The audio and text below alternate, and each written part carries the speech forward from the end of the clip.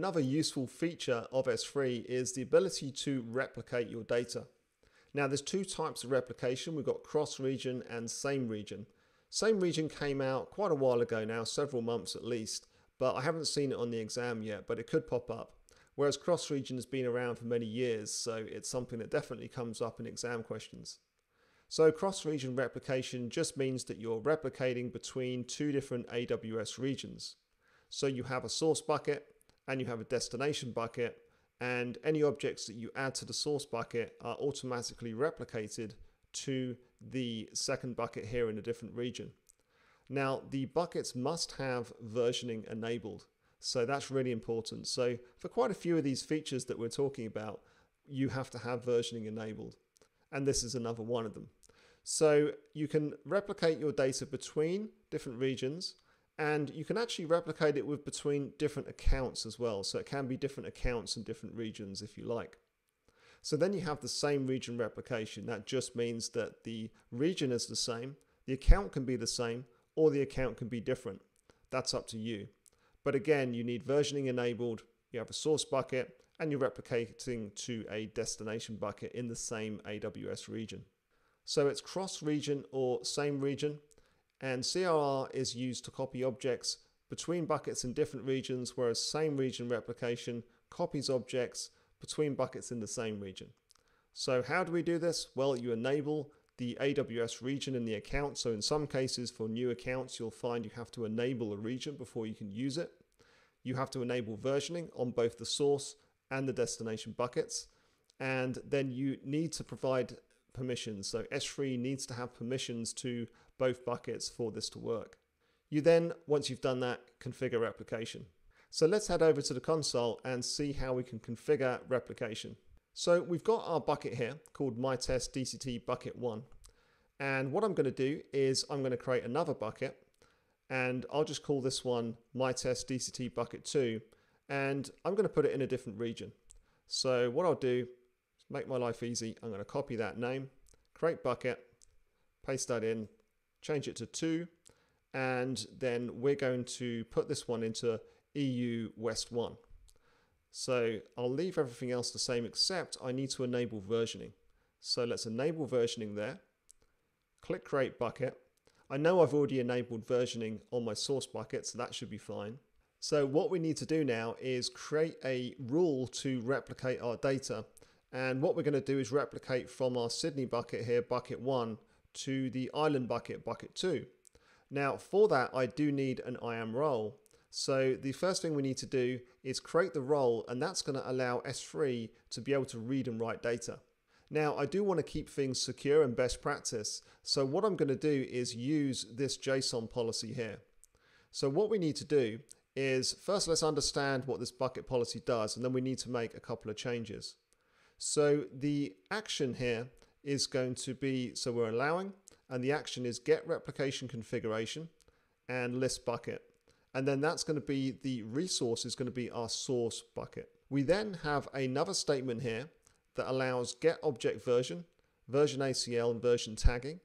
And that's also the, resource the source bucket, but it's the objects within the bucket. So the slash star is always when you're applying the policy to the objects in the bucket.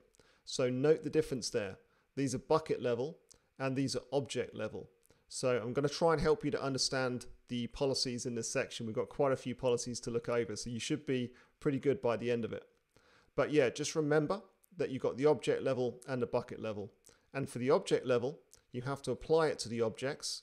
So you specify the bucket ARN with a slash star on the end. And then at the bottom here, we've got a, another set of actions which apply to actually writing data in the destination bucket. So we'll have the destination bucket ARN.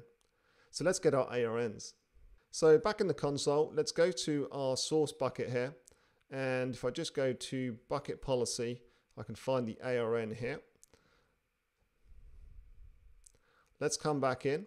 We're going to paste that in here. So make sure you've got that correct. So we've got the full ARN. And then here, make sure that you don't override that slash star. So we've got the ARN slash star. And then we need the destination bucket ARN as well. So back in the console, let's copy this ARN, and then we're going to paste that in here. Great, so we've got our policy. I'm going to copy that to my clipboard. And then what we need to do is head over to IAM, click on roles, create role. We're going to choose S3 and the S3, S3 option down here. So select your use case is S3, click on next, and we're going to create a policy. We're going to click on JSON here. We're going to paste our code in, click on review, and I'll call this CRR replication and click create policy. And then back in the create role, let's just refresh and then put CRR replication. Let's select our policy, click on next, and let's just create this role. So this is going to be CRR replication dash role, and let's create that role. So that role should give us the permissions or give S3 the permissions that it needs in order to replicate the data. So back in S3, let's find our primary bucket, so the source bucket, and that's going to be bucket one. We'll click on management, replication, and then we add a rule. So we're going to replicate the entire bucket rather than just a prefix. Let's click on next.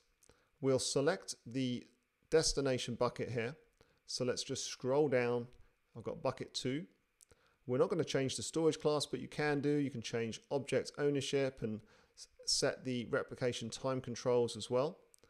But what we do need to do is find our role. So let's find CRR replication role. And we'll call this CRR dash Ireland. And this replication is going to be enabled. So let's go through and save that policy.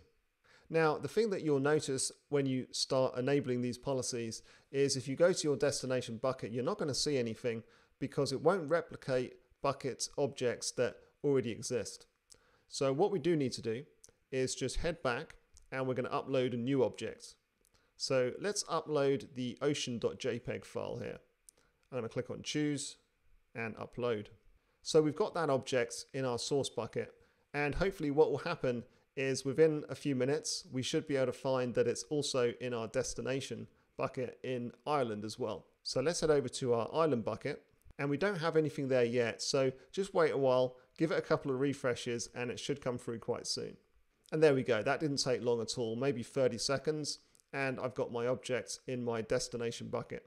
So that's how CRR works. It's very much the same for same region replication.